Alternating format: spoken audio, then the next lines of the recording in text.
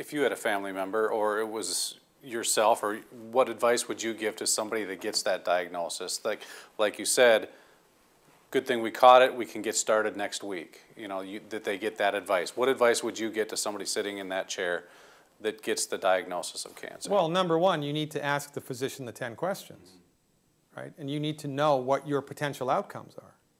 I mean, is this therapy going to give me a 10% success rate, a 90% success rate? And when you tell me it's 90%, what does that mean?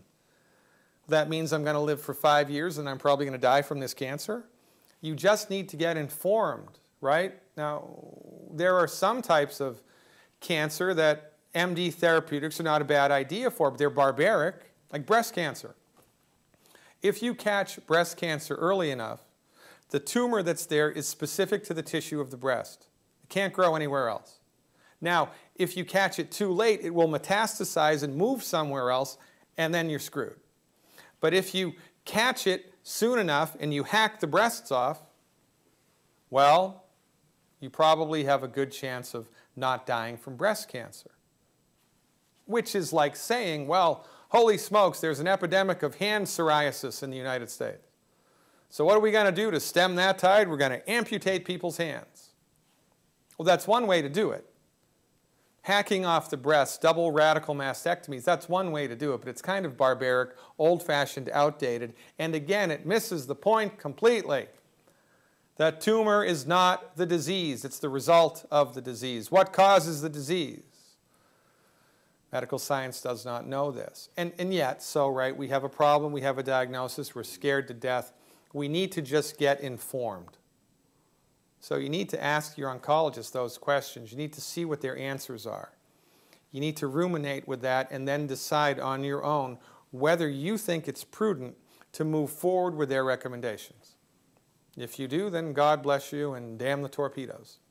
If you don't, you're SOL because all that you have the, is the internet.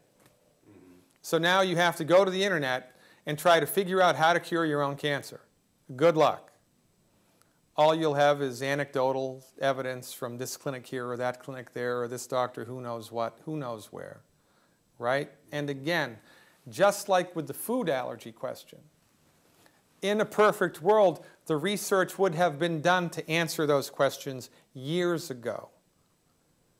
In a perfect scientific, objective community, not driven or controlled by pharmaceutical interests or you know, agribusiness interests, if it was really pure science for science's sake, we'd have a clue because we would abandon the reductionistic methodology because it simply doesn't work. It doesn't work.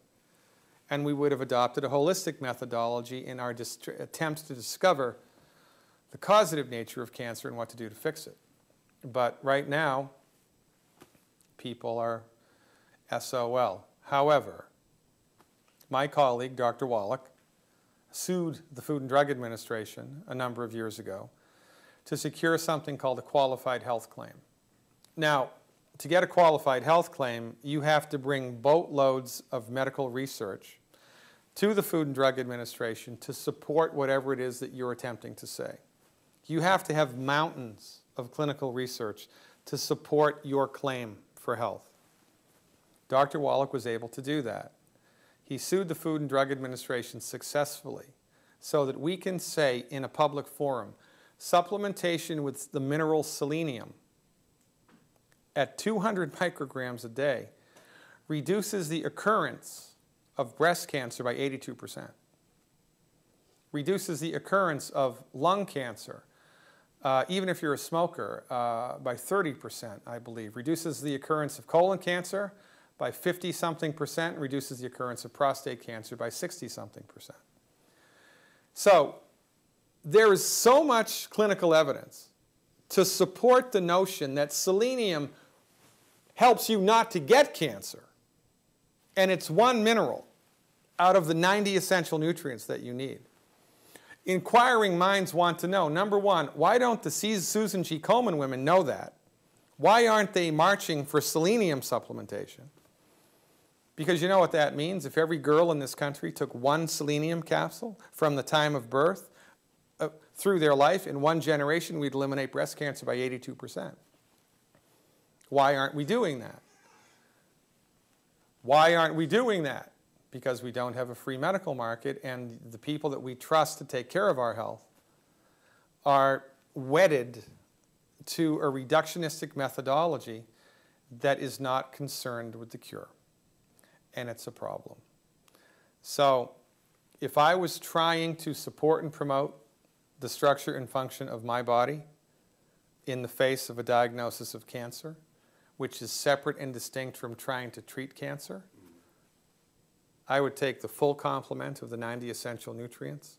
I'd completely eliminate, we've discovered 10 foods that are bad for you wheat, barley, rye, and oats, oil in a bottle, fried food. There's four others. You can get that list for free on my website. I eliminate all those foods. I would consume 100,000 ORAC points of antioxidants a day. Uh, and I would take uh, a lot of selenium into my body every day. Uh, plus an interesting sea vegetable called fucoidan. There are over 1,100 published studies on fucoidan and its biological activity. One of the things that fucoidan does is it increases something called apoptosis, which is the death of cancer cells. So, if I was trying to support my body's ability to increase its structure and function, to optimize its health in the presence of a diagnosis for cancer, I would eat as much of that stuff as I possibly could. The 90 essential nutrients, selenium, and complete abstinence. I mean, man, I wouldn't even be downwind of fried food. No kidding. But see, the problem here is all we have to go on in the realm of cancer is anecdotal evidence because the medical market is controlled. And the research that's being done, that needs to be done on this, isn't being done, and it's the MD's fault. It's got to be somebody's fault. They know that it doesn't work. They're not making noise. They're still propping up a dead horse. They are. And it's a problem. Honest to God, if every cancer patient simply asked their oncologist these 10 questions, everything would change.